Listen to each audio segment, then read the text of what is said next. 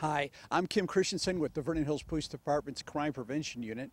As most residents know, for many years the village has had an ordinance which prohibits parking on a village street from 2 a.m. to 6 p.m. There is also a system in place where you can request temporary parking permission. Now, to assist those residents whose unique circumstances require an increase in on-street parking, there is now a permit system in place where you can request additional parking permission. The best thing to do is visit our websites. You can go to vhpd.com or vernonhills.org to learn about it. There are rules and eligibility requirements, and there is an application process that must be followed. Additional information can also be obtained by calling our records section.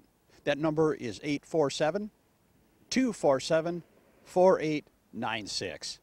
Thank you very much.